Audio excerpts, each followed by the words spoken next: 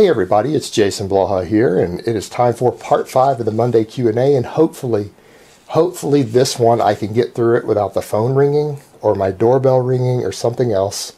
I really messed up and waited till Monday morning to film these instead of Sunday night, so I'm going to have to deal with a lot of interruptions. It's really getting frustrating here. All right, so first question. Do you think old school bodybuilding was or wasn't as mentally detrimental as it is today in respect to eating disorders and body dysmorphia? I would say absolutely it was nowhere near as detrimental because nobody looked like a concentration camp victim. That's really the difference. Nobody was dieting down ultra ripped. They just dieted down till they looked pleasing to the eye. They looked truly aesthetic from the perspective of other people who saw that as a piece of art. Whereas in bodybuilding today has gotten to a point to where I see people do before and afters before their contest preps to where the before they look like a piece of art. They look fantastic. They look athletic, fit, lean. They have what should be for most people an ideal physique, and then they diet down and they look like hammered dog shit afterwards. In my opinion, at least. Just so they can have striated glutes and they look like someone who was spent three months in a concentration camp and then that's the standard that's being set and people in this industry all strive towards that. And it feeds worse into their body dysmorphia. It feeds worse into eating disorders so that they're because they're trying to obtain an aesthetic that isn't even appealing to the eye for most people and looks unhealthy and actually is unhealthy. So yeah there's a huge difference. All right next question. Further to my question about the difference in protein synthesis this guy asked another question about this that i didn't do 500 milligrams of testosterone a week versus non-enhanced.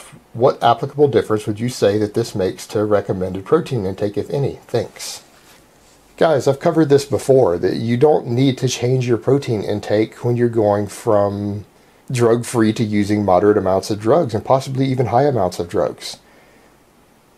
Maybe on what IFBB guys are using today, but what guys were only using 10, 15 years ago, the Dorian Yates era guys, who granted were smaller than your current pros. They were on a lot of drugs. They didn't use ultra high protein intakes. If you go read interviews from guys during those eras, their protein intakes were less than what's being recommended to 170 pound drug free lifters these days. And these guys were on tons of gear and massive. And no, the studies that I've seen show when we look at these studies done on healthy young men, when we give them exogenous testosterone and the dose goes up, their gains are dose dependent and predictable ratios without changing protein intake. I've never seen a study done where they actually even go to one gram per pound of body weight. They don't need to do that because the experts who are writing these programs actually know sports nutrition and they know that amount of protein isn't necessary for maximum gains even on steroids. You literally have guys gaining 20 pounds of muscle when they put them on their first course of steroids in some of these endocrinology studies while eating 100 or 120 grams of protein a day. It's not really that important because that is a high protein intake. That isn't a strength athlete's protein intake needs. So no, my protein recommendations really don't change for drug-free lifters versus moderately enhanced lifters. I just don't see the need to do so. That's my take on it.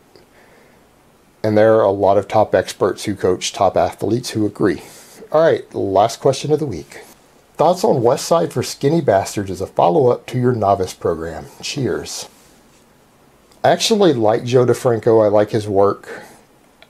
I think Westside Barbell for Skinny Bastards is actually a pretty good intermediate program.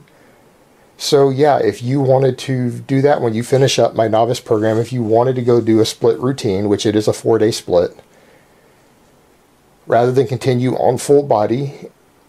I think the West Side Barbell for Skinny Bastards isn't a bad program. It, it's very viable, and if it looks interesting to you and like something you want to try afterwards, yeah, give it a try and see how it works out for you. It's, it's not a bad program at all. All right, guys, so that's really all I have to say on that today. I hope it has been informative, and I will talk to you guys next time. But let me give you guys a bicep shot before I go.